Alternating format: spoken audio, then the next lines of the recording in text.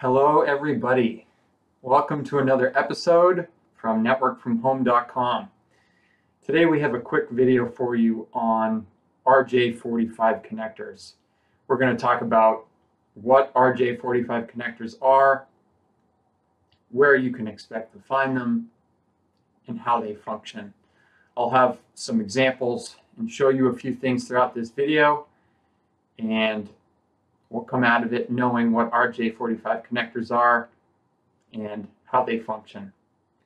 And I'll start by saying that RJ45, it's probably a term that you've heard quite a bit of when it comes to home networking and Ethernet cables.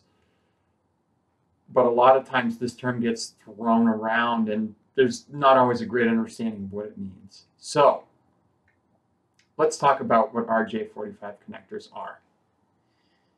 We'll start with an example. Here's an Ethernet cable.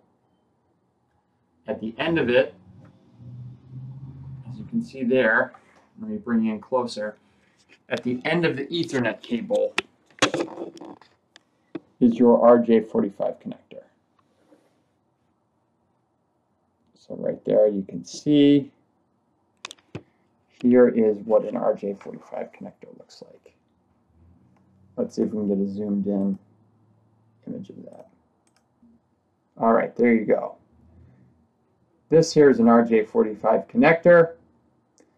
It terminates the end of an Ethernet cable. So you'll see these, you'll see these at the end of every Ethernet cable. Let me bring you back here. So you're going to see these connectors on the end of every Ethernet cable regardless of the category. So any commonly used Ethernet cable category that you see today, Cat5e, Cat6, Cat8 cables and in data centers, that will have an RJ45 connector on the end of it. But the important piece there is RJ45. Where does that come from? Well, RJ45 is actually a standard that was established by the FCC in, I believe it was 1987. And what that standard essentially did was it just said for connectors that go on Ethernet cables, they have to be made a certain way, they have to be wired a certain way, and they need to handle electric signals a certain way. So essentially all this did is it standardized how the connectors on Ethernet cables were produced. This made things a lot easier.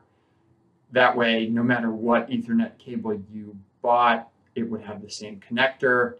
Conversely, all the devices that Ethernet cables plug into will have the same port, and they knew what size Ethernet port to make because they knew what size the Ethernet cable connector was going to be. So RJ45, that identifies the standard of the connector that's used on Ethernet cables. So that's an important distinction to make there. Obviously, I think we're all pretty familiar with the function of an RJ45 connector. I have an example here. We have a docking station, but with an RJ45 connector, all we have to do is we take our Ethernet cable, plug it into the Ethernet port. It goes in pretty securely. See, I can't pull it out and that's because of the tab. There's a little tab on the RJ45 connector, which, pre which prevents it from coming out of any device it's connected to. Okay, so now let's talk about some of the components of an RJ45 connector.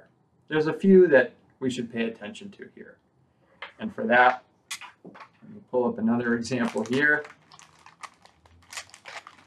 We will take a look at an RJ45 connector that has not yet been connected to an Ethernet cable. This will give us a clear example. So let me show you first and foremost, we're going to take a look at the pins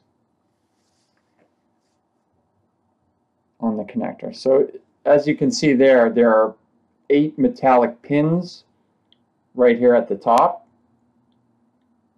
And each of those pins is for each wire within an Ethernet cable. So what exactly does that mean? Let me go back to my first Ethernet cable here. Inside an Ethernet cable, you will have eight copper wires. And what you see here is, here are four pairs of two wires. And all Ethernet cables will have that. So you have eight wires.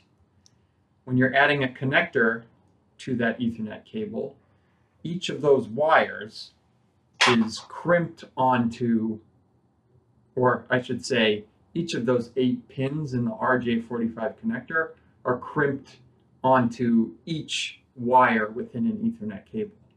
And that's what allows data to move from one end of the Ethernet cable from one device to the device on the other end of the Ethernet cable. That's because data is being sent back and forth with electric electronic signals and those metallic pins connect to the wires in the cable which on the other end of the cable connect to another set of pins at that RJ45 connector and then they go from those pins to that device when the Ethernet cable is plugged into an Ethernet port on that device. So hopefully that was clear. But essentially, the pins connect to the wires, the wires connect to the pins in the connector on the other side of the cable, and those pins connect to the device that it's plugged into, and that allows for the seamless transmission of the electronic signals and data between the two devices. What's the other piece I want to talk about? The other piece I want to discuss in terms of the function of RJ45 connectors is the channels inside of them. So here, we'll, we'll go back to this Ethernet cable.